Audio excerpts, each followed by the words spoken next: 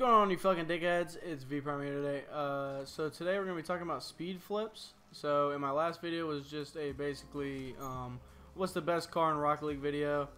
Um, I had a few people watch that.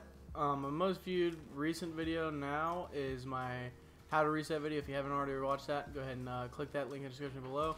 Um, so, but today we're gonna be talking about how to speed flip. So with a speed flip, you're really gonna need a air roll button. I don't think there's any other way to do it other than an air roll button. Um, once you have an air roll button bound, you're basically good to go. Any other, you know, button combinations really doesn't matter. Just know what your boost button is, know what your jump button is, know what your air roll button is.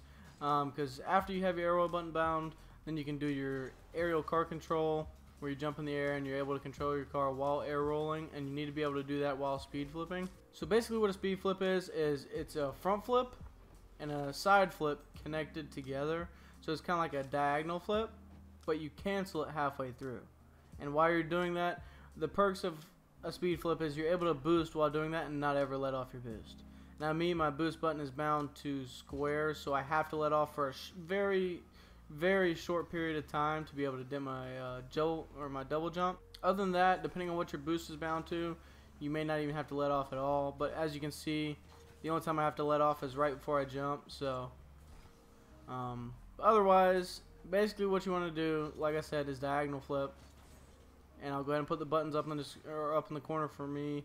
Um, what my buttons are. So my air roll left is uh, left bumper, and then I push forward on my left joystick for my front flip and that's what gives me my diagonal flip like that right there. So basically you're gonna diagonal flip but cancel and once you do that that's what it will do right there is just spin like a tornado in the air. So canceling is basically going the opposite way. Um, you don't even have to cancel your left air roll just cancel your left joystick. Just pull it straight down and you go diagonally. So basically after you get all that down you're able to add the boost whenever you want to. Um, you know just diagonal flip cancel boost. And why you're able to boost the whole time is because whenever you diagonal flip and then cancel it um, it points you downwards towards the ground so you're not losing any momentum. And it's not like you're flipping over yourself so you're not boosting away from the ball at all. Like if you're going on a kickoff or whatever you just got to know whichever way you're flipping. I flip to the left 95% of the time. A lot of people flip to the right which is fine. Um, but I'm just a left flip kind of guy so um, I'll left diagonal flip and cancel and boost as soon as I got that cancel in. So that right there is a speed flip. A lot of people up in the higher ranks use it.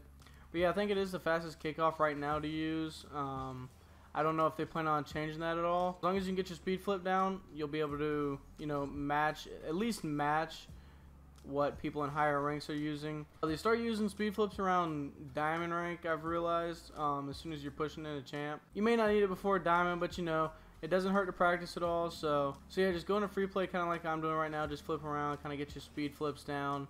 Um, one trick that will help you learning it is I learned sometimes you won't you won't land your speed flip facing the same um, facing the same way that you started it so if you just hold your power slide button down at the same time, it'll help your car straightening out um, while you're landing sideways if you do.